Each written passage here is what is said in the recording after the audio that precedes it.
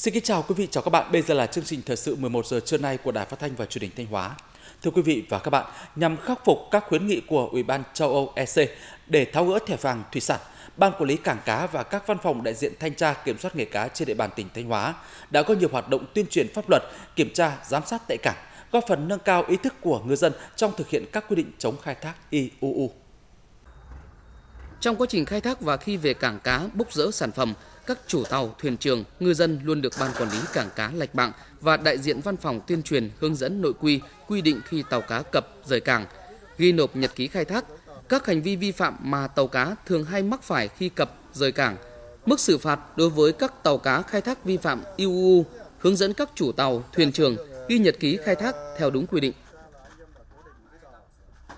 Tôi nghĩ là cái việc mà chấp hành đúng ờ, mệnh lệnh và được tuyên truyền thì giấy tờ đầy đủ thì bọn tôi sẽ chấp hành. Thấy cái, những cái việc đấy thì nó quá bình thường thì mình đúng ờ, thủ tục và và được cái ờ, tuyên truyền của bộ đội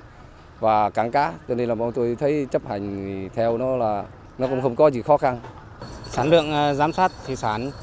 qua cảng cá Lạch Bạng từ đầu năm 2023 đến nay tăng 25% so với cùng kỳ năm ngoái. À, để làm được cái điều này thì chúng tôi thường xuyên phối hợp với ờ, chính quyền địa phương và các lực lượng chức năng biên phòng ờ, thường xuyên tuyên truyền vận động ờ, ngay tại cảng cá đến từng tàu, từng từng chủ tàu và đến từng nhà của người dân. Qua đó thì nâng cao cái ý thức trách nhiệm trong cái việc chấp hành các quy định của pháp luật. Thanh Hóa hiện có 3 cảng cá lớn gồm Lạch Bạng, thị xã Nghi Sơn, Lạch Hới, thành phố Sầm Sơn và Hòa Lộc, huyện Hậu Lộc. Đây cũng là các cảng có văn phòng đại diện thanh tra kiểm soát nghề cá.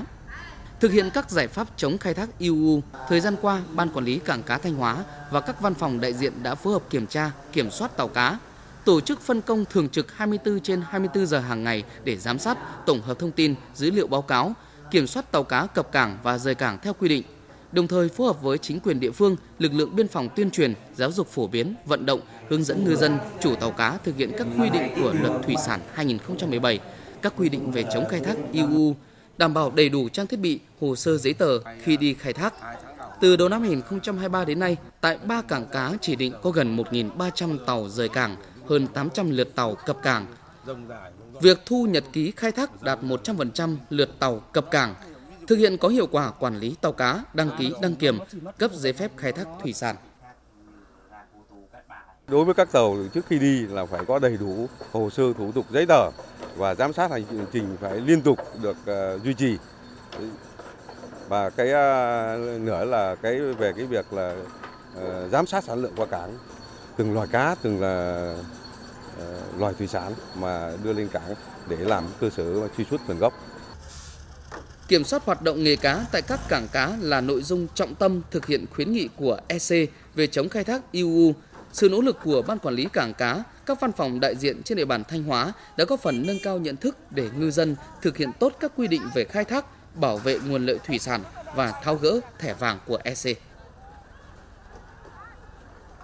Huyện Vĩnh Lộc là địa phương có nhiều vùng trũng thấp, có hai con sông lớn chảy qua, nên vào mùa mưa lũ rất dễ xảy ra tình trạng ngập lụt, đặc biệt là vùng ngoại đê. Để bảo vệ tính mạng và tài sản của người dân, huyện đã chủ động xây dựng các phương án ứng phó với mưa lũ, trọng tâm là việc di dân khỏi vùng có nguy cơ cao bị ngập lụt.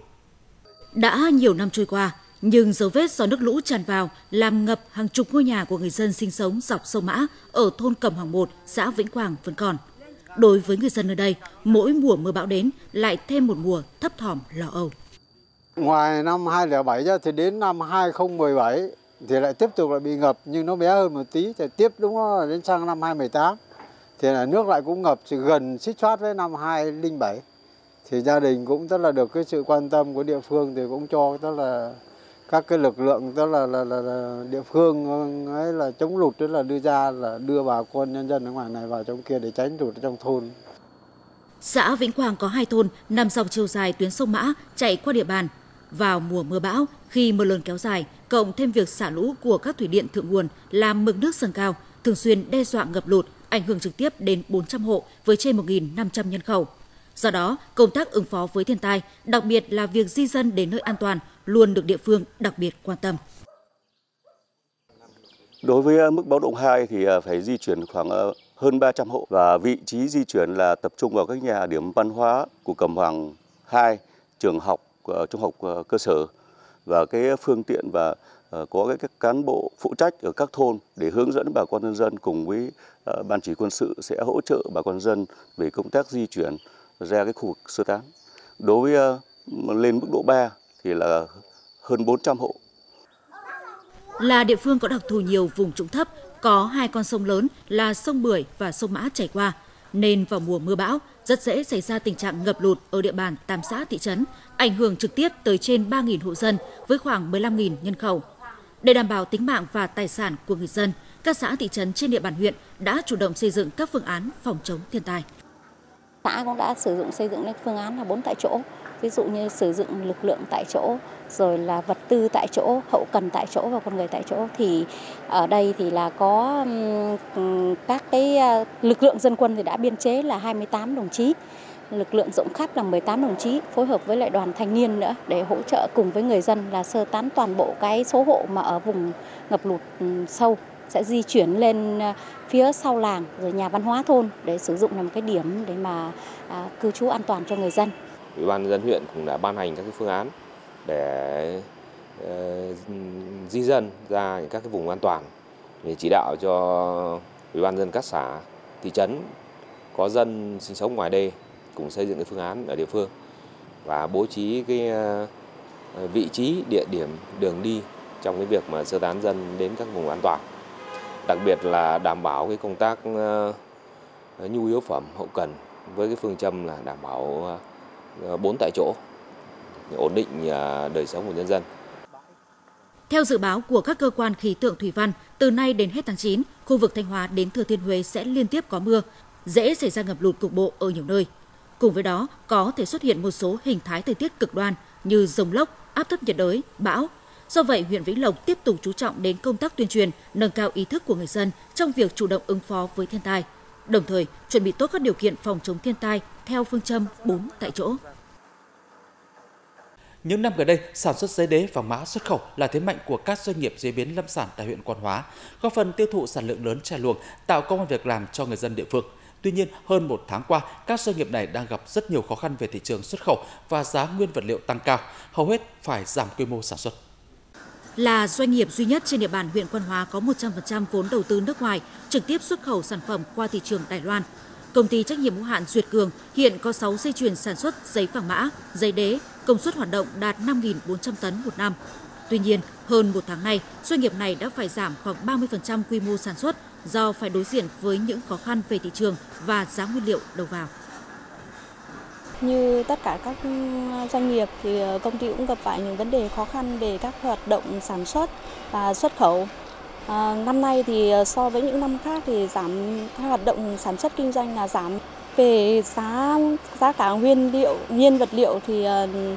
so với năm nay thì nó cũng đều tăng so với những năm khác nên là nó cũng ảnh hưởng ờ, đến cái vấn đề về xuất khẩu.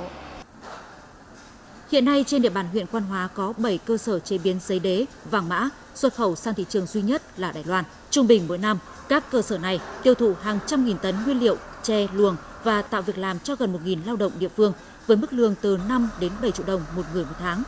Thế nhưng hơn một tháng nay, các cơ sở này đều phải giảm quy mô sản xuất, cắt giảm nhân công do hoạt động không có lãi. Nhu cầu của thị trường giảm khoảng 30% so với cùng kỳ năm ngoái. Bên cạnh đó, giá nguyên vật liệu đầu vào tăng cao. Hiện các cơ sở này đang triển khai nhiều giải pháp để khắc phục khó khăn. Tuy nhiên nếu tình trạng này kéo dài, nhiều cơ sở sẽ phải ngừng sản xuất. Thì ờ, rất là khó khăn, doanh nghiệp đã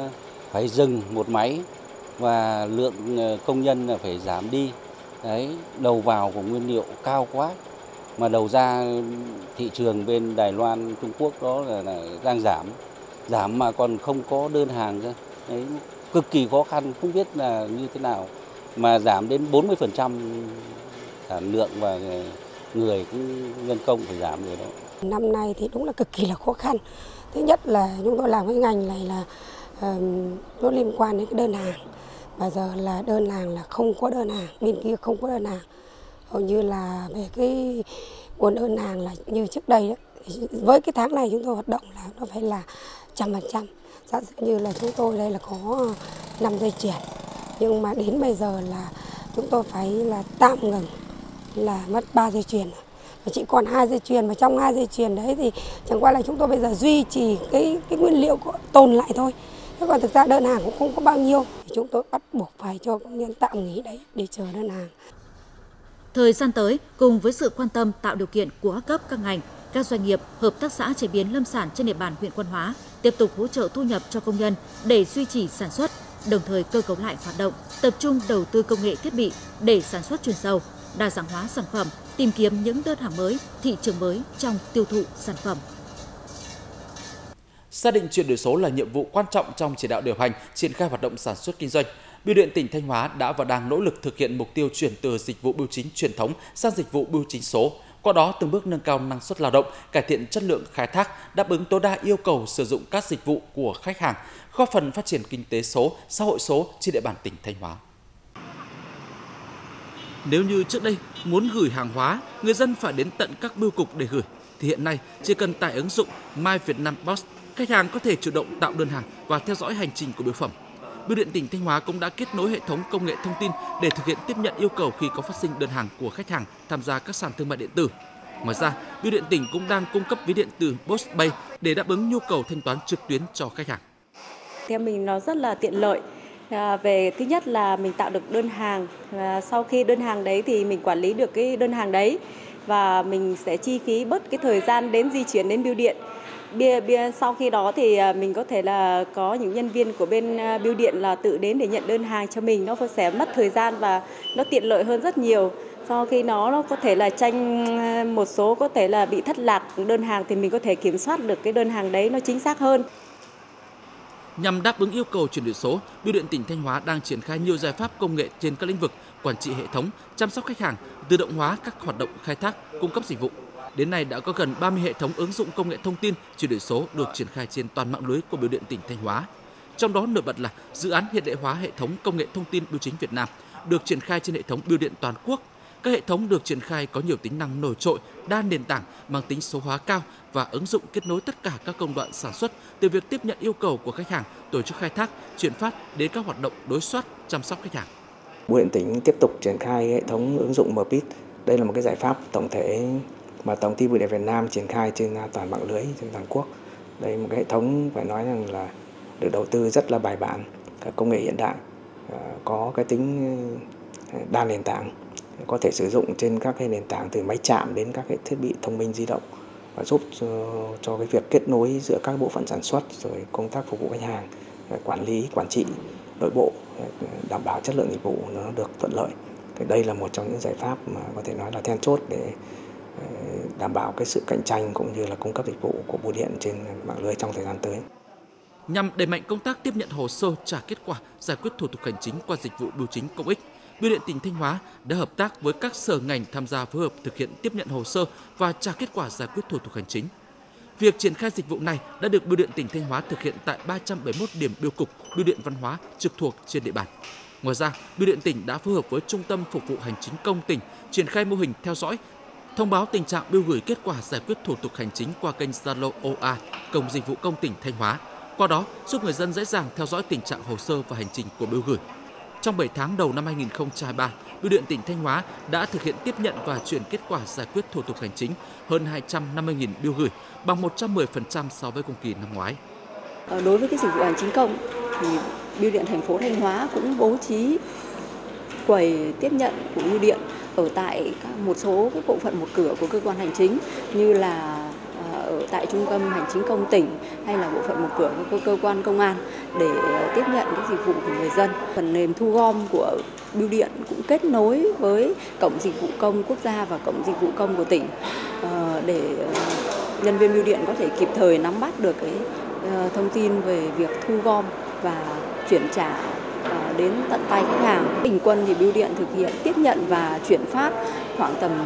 trên 12.000 hồ sơ giải quyết kết quả thủ tục hành chính đến tận tay người dân kịp thời và an toàn. Với phương châm lấy khách hàng làm trung tâm, Bưu điện tỉnh Thanh Hóa đang tiếp tục đổi mới để xây dựng hệ sinh thái sản phẩm, dịch vụ số nhằm mang chất lượng dịch vụ tốt nhất đến người dân, thực hiện tốt vai trò của ngành bưu điện trong việc xây dựng chính quyền số, góp phần tham gia phát triển kinh tế số, xã hội số trên địa bàn tỉnh.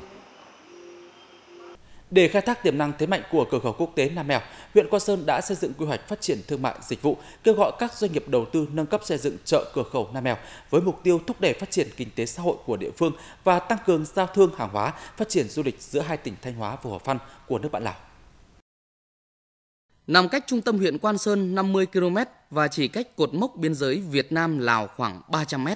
Chợ Nam Mèo thuộc xã Nam Mèo đã được hình thành và hoạt động từ 30 năm nay Điều đặc biệt là chợ này chỉ họp một phiên duy nhất vào sáng thứ bảy hàng tuần. Chợ Nam Mèo không chỉ là nơi mua bán trao đổi hàng hóa mà còn là nơi gặp gỡ giao lưu, thể hiện tình đoàn kết hữu nghị của người dân vùng giáp biên giới hai tỉnh Thanh Hóa, Hùa Phan. Với chính quyền và nhân dân xã Nam Mèo, chợ Nam Mèo có ý nghĩa rất lớn cả về kinh tế, giao lưu văn hóa, đảm bảo quốc phòng an ninh. Trong cái thời gian vừa qua thì cái đã thu hút được các cái tiểu thương đến với xã, đến với chợ thì thu nhập của bà con nhân dân ở trong bản, trong xã và tiểu thương tại chợ là có sự tăng lên trong đó thì có cái sự giao lưu, giao thương hoàng hóa giữa hai bên biên giới, các bản, các cụm giáp biên của huyện Vinh Say, nước bạn Lào và đối với xã Nam Mèo cũng như là cái huyện Quan Sơn thì có sự phát triển rất là lớn. Bắt đầu từ năm 2014, sau khi cửa khẩu Nam Mèo được nâng cấp thành cửa khẩu quốc tế Nam Mèo thì hoạt động giao thương buôn bán, trao đổi hàng hóa của đồng bào các dân tộc vùng biên giới hai huyện Quan Sơn và huyện Viêng Say tỉnh Hùa Phan diễn ra sôi động hơn.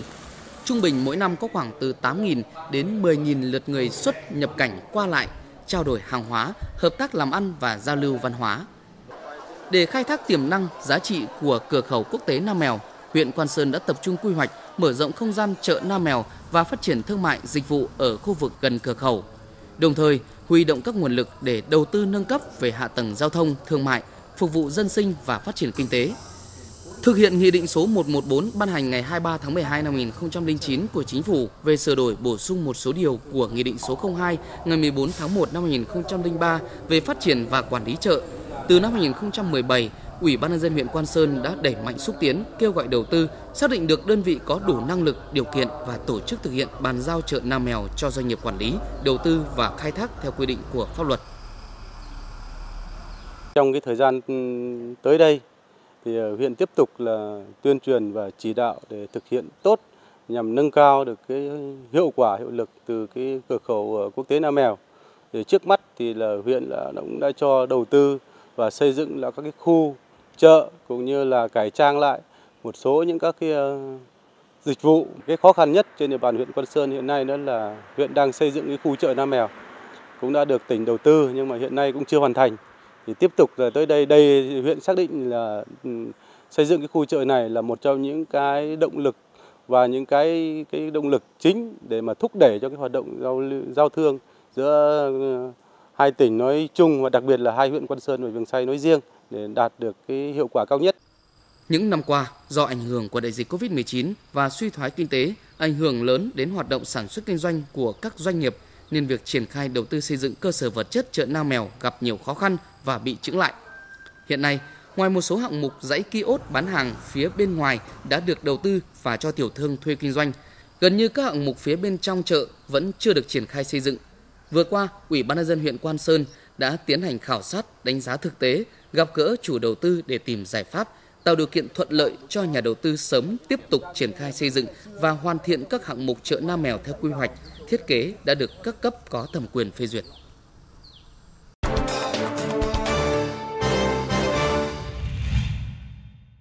Thưa quý vị và các bạn, Vu Lan báo hiếu là một trong những ngày lễ lớn của người theo đạo Phật, là ngày tưởng nhớ báo ân báo hiếu cha mẹ và tổ tiên. Với ý nghĩa nhân văn ấy, nhiều năm qua, lễ Vu Lan ngày càng lan tỏa trong cuộc sống, không chỉ là ngày lễ của các Phật tử mà trở thành ngày lễ của một bộ phận không nhỏ người dân Việt Nam theo tín ngưỡng thờ cúng tổ tiên. Hôm nay là ngày các Phật tử chùa Báo Ân, xã Thiệu Vân, thành phố Thanh Hóa được tham gia lễ Vu Lan báo hiếu do nhà chùa tổ chức. Tại đây, các Phật tử đã được tham dự trong không khí trang nghiêm, thành kính và xúc động với những nghi thức truyền thống. Đặc biệt, nghi thức bông hồng cài áo là một trong những hoạt động mang ý nghĩa nhân văn sâu sắc, thu hút sự tham gia của rất nhiều Phật tử. Phật tử đến chùa dự lễ đều được cài một bông hoa hồng. Người còn cha mẹ thì được cài bông hồng đỏ, người không còn cha mẹ cài bông hồng trắng để tỏ lòng hiếu kính đối với những bậc sinh thành. Tôi cũng ờ, làm ăn quê xa quê hương, nhưng mà hôm nay cũng là cái ngày lễ Vu Lan báo hiếu. Năm có dịp thì tôi cũng về để ờ, dự cái lễ ờ, báo hiếu lễ Vu Lan ngày hôm nay thì để ờ, tưởng nhớ lại những ờ, người đã khuất như bố mẹ sinh thành cho mình và những ờ, như các anh đã các chị đã hy sinh. Việc đốt vàng mã không đem lại lợi ích cho vong linh mà cái pháp Vu Lan Bồn, cái pháp mà cúng dường à, nhân cái mùa Vu Lan nhân mùa tự tứ cúng dường lên Tam Bảo, cúng dường chư tăng, phóng sinh tu phúc, làm việc phúc thiện, à, tụng kinh niệm Phật hồi hướng, À, làm tất cả những việc tốt lành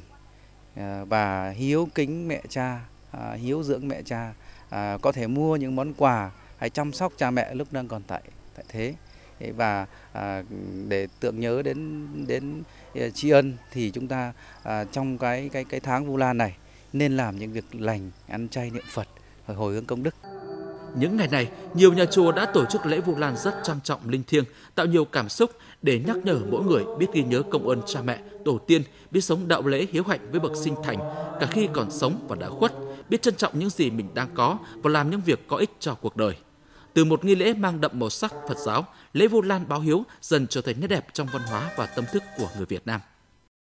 Hôm nay chùa Tăng Phúc ờ, tổ chức buổi lễ Vu Lan báo hiếu này là à, đến với à, các à, Phật tử và nhân dân và các cháu để là À, ăn quả những người trồng cây và để cái hiếu hạnh của bộ biết thương yêu bố mẹ, biết kính thương người trên và cũng không phải mình hôm nay là lễ Vu Lan báo hiếu mà chùa tổ chức mà trong những cái ngày rằm mùng 1 đến chùa lễ Phật các Phật tử đến chùa lễ Phật thì chùa vẫn thường xuyên là nhắc mình là người con đệ tử của Đức Phật là biết phải thương yêu đầm bọc lẫn nhau kính trên nhường dưới. Đại lễ Vu Lan báo hiếu là nét văn hóa về đạo đức hiếu hạnh của Phật đạo, một trong tứ trọng ân mà mỗi người con không thể quên. Mùa Vu Lan là dịp nhắc nhở con người về việc báo hiếu, báo ân cội nguồn, sống chậm lại, dành thời gian để suy ngẫm và yêu thương nhiều hơn. Cùng với hệ thống di tích văn hóa lịch sử đồ sộ, Thanh Hóa là tỉnh có rất nhiều văn bia cổ. Đây là những di sản quý giá giúp hậu thế hiểu hơn về các nhân vật, sự kiện lịch sử, đời sống văn hóa kinh tế xã hội của quê hương, đất nước trong những giai đoạn, thời điểm đã qua. Tuy nhiên, công tác bảo quản phát huy giá trị các văn hóa còn nhiều khó khăn bất cập. Nằm bên tuyến đường liên thôn khang trang sạch sẽ của xã Xuân Thiên, huyện Thọ Xuân, tỉnh Thanh Hóa. Tấm bia cổ này từ nhiều năm nay đã được trưng dụng làm tường rào.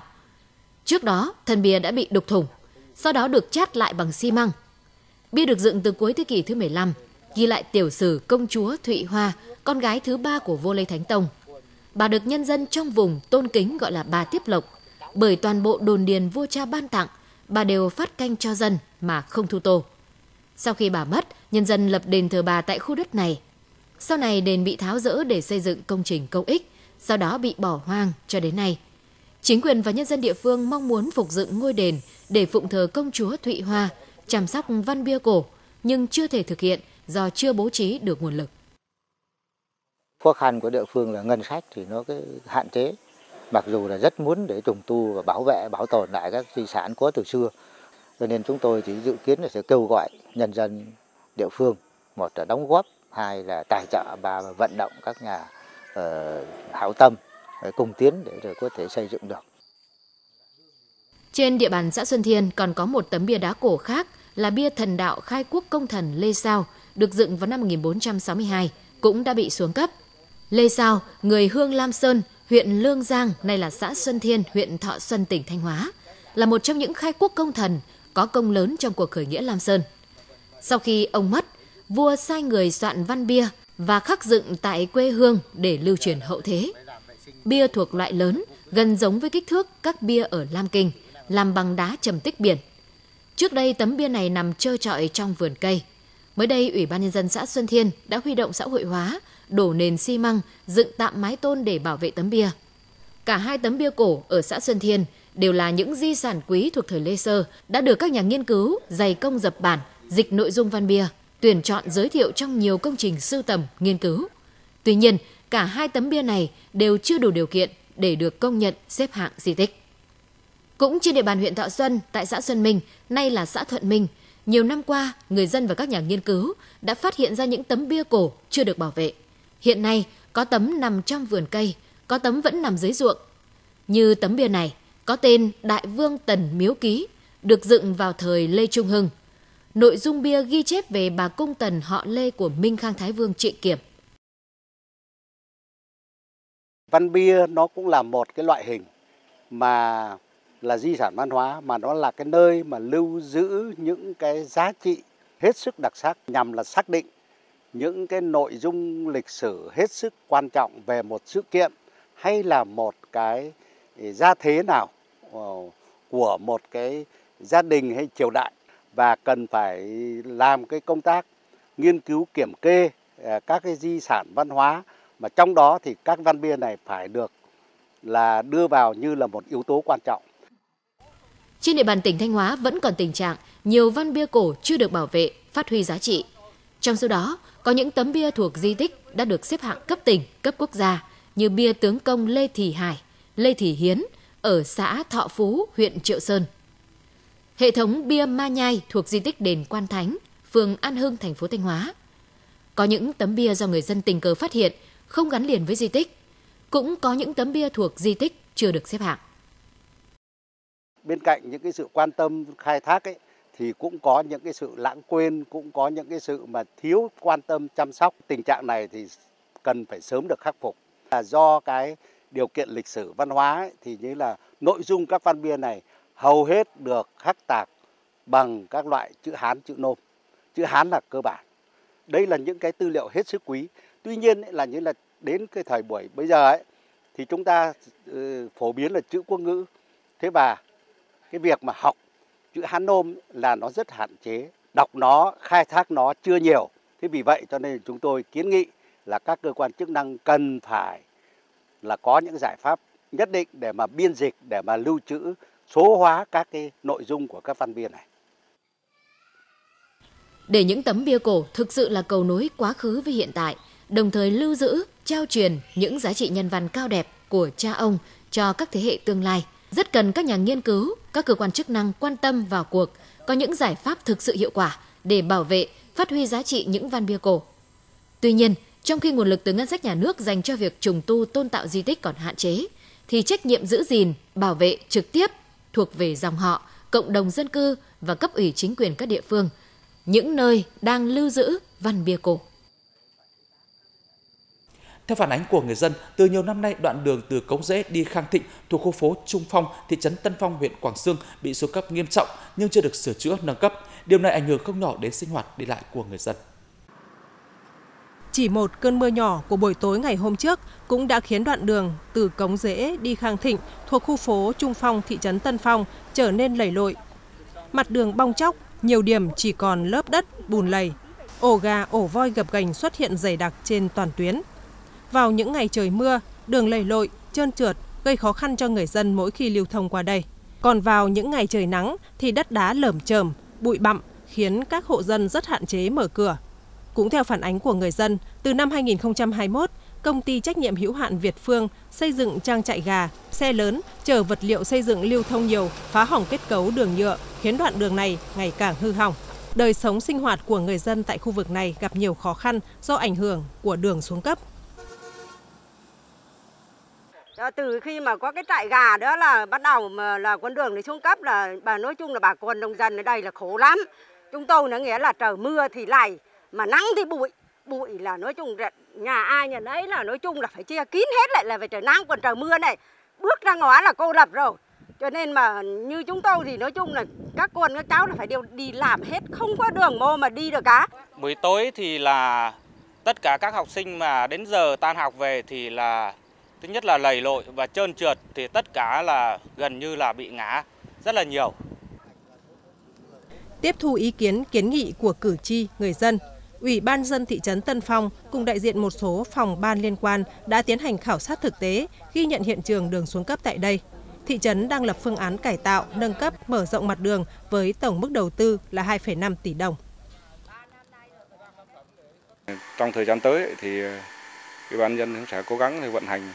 và chỉ đạo các cái bộ phận phối hợp với huyện để mà thực hiện các cái nội dung này đảm bảo theo cái yêu cầu. Thì cố gắng thì trong khoảng thời gian sớm nhất thì có thể là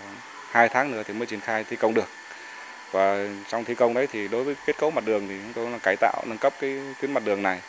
thì với chiều rộng là 5,5 mét nhựa và chiều dài là khoảng 500 mét từ đầu tuyến trở vào và một đoạn khoảng 300 mét vào khu vực trại gà 4A và với cái ờ, dự kiến kế hoạch mà điều kiện nó thuận lợi về cả về kinh phí rồi điều kiện thời tiết và các điều kiện khác thì sẽ cố gắng là hoàn thành trước Tết để cho bà con đi lại thuận lợi. Hiện nay, thị trấn Quảng Sương đang chuẩn bị các bước thực hiện hồ sơ bản vẽ, thiết kế thi công đoạn đường Cống Rễ đi Khang Thịnh thuộc khu phố Trung Phong. Thị trấn phấn đấu sẽ hoàn thành và đưa vào sử dụng đoạn đường này trước Tết Nguyên đán năm 2024. Quý vị và các bạn vừa theo dõi chương trình thời sự trưa nay của Đài Phát thanh và Truyền hình Thanh Hóa. Xin được cảm ơn và kính chào tạm biệt.